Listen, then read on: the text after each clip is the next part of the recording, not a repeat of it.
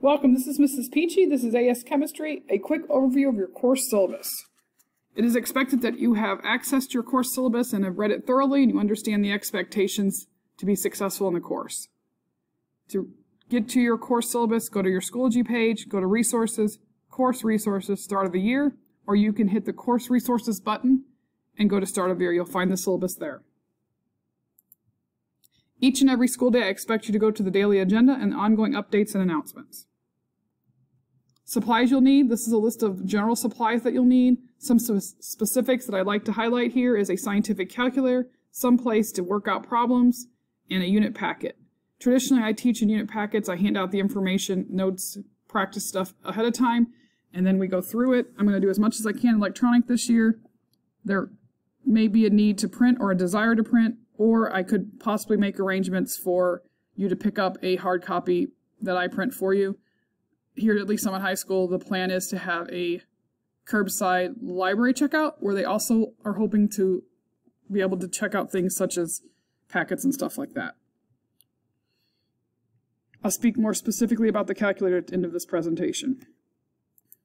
Electronic devices. When we're seated in person, your cell phones and other electronic devices must be in a zippered pocket. You must request each and every time, get permission each and every time for each and every person to have your cell phone out.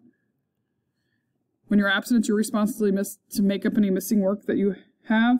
Reach out to me for further assistance. I do expect that you've checked the daily agenda before reaching out. If you need help, make up work, or need tutoring, these are the times when you can come in. Most of the time, you'll go to googlemeet.com. However, on A day and B days when we're hybrid, you can come to my room on Mondays and Tuesday, Monday, Tuesdays, or Thursday, Fridays from 2.30 to 3.30 to get help in person.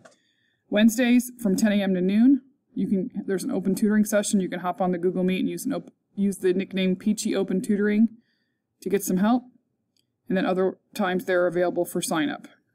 Email me and I will help you figure out a time. We'll coordinate a time that we can get together if you need some help. Academic assessment, your AS chemistry grade is made up of coursework and semester work. Your coursework is 90%. Your semester final, part, pardon me, is 10%. Uh, your coursework, the 90% of that is 60% assessments and projects and 40% learning activities. And of course, your final will be at the end of the semester and it's worth 10% of your overall grade.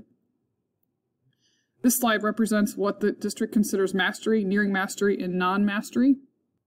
Turning in assignments, all work is due on the due date.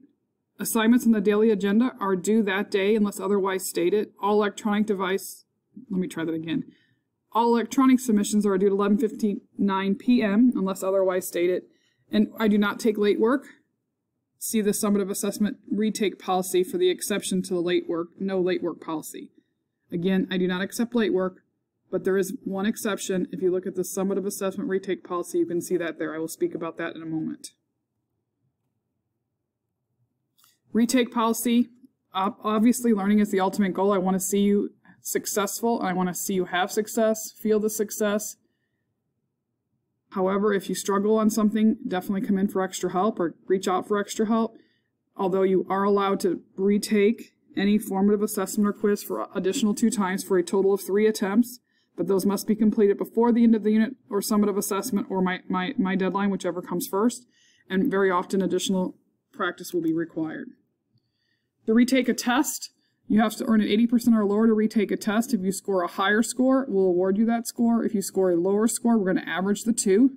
But in order to do a retake, you must attend two tutoring sessions, when possible in person is preferred, complete test corrections during the first tutoring session, have completed notes from your unit of study, complete any additional practice that I see necessary, have all required assignments completed. So here's that exception to the late work policy. If you don't have all of your assignments completed, you will not be allowed to do a retake. You won't get credit for those, but you still have to complete them. And then complete any study guide I give you for the unit. Calculators, scientific calculators or graphing calculators are fine. Uh, they're not allowed, you're not allowed to use your cell phone or any electronic, other electronic device on a test or a quiz when seated in person. This is the kind of graphing calculator, pardon me, let's try that again. This is the kind of scientific calculator that most use. However, do not feel like you need to rush out and get this calculator.